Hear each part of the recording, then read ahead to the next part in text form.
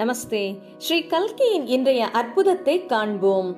நான் R K Lakshmi தமிழ்நாட்டின் சென்னையிலிருந்து எழுபத்தி நான்காயிரம் தீக்ஷா ஹோமங்கள் மற்றும் சாட்சாத்கார செயல்முறைகளுக்கு பிறகு வாழ்க்கை மகத்தானதாக மாறியது.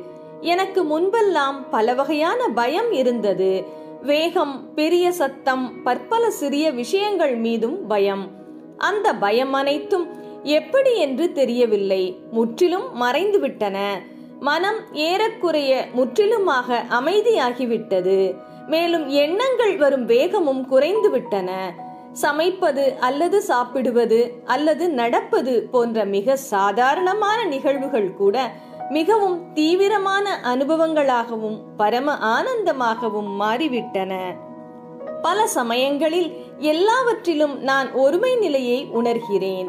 ஒரு புல்லின் மேல் காலை பனியை பார்த்து மகிழ்ந்தேன். ஆனால் இப்போது நானே அந்த பனி அல்லது புல்லின் பச்சை நிறம் என்பதை உணர்கிறேன்.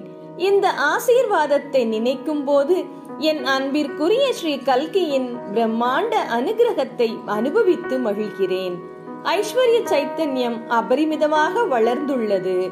நான் உண்மையில் ஒரு ராணியைப் போல் உணர்கிறேன். ஆரோக்கியத்தில் அங்கும் இங்கும் சில இடையூறுகள் உள்ளன.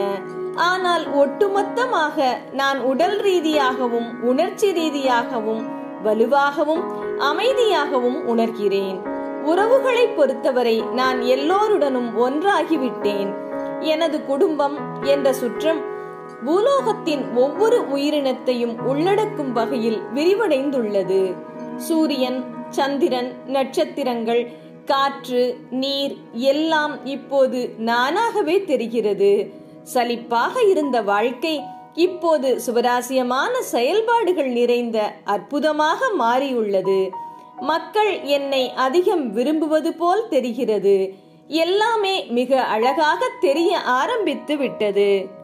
எனது வாழ்க்கையின் ஒவ்வொரு துளியையும் ஆழ்ந்த நிறைவுடன் அனுபவித்து மகிழ்கிறேன். இந்த நானாக இருக்க என்னை ஆசீர்வதித்தது எனது அன்புக்குரிய தெய்வீக பெற்றோரான ஸ்ரீ அம்மா பகவான். இந்த அற்புதமான பயணம் முழுவதும் வழிகாட்டுதல் மற்றும் ஆசீர்வாதங்களுக்கு எனது பிரியாது பிரிய கல்கிக்கு அனந்த கோடி நன்றிகள்.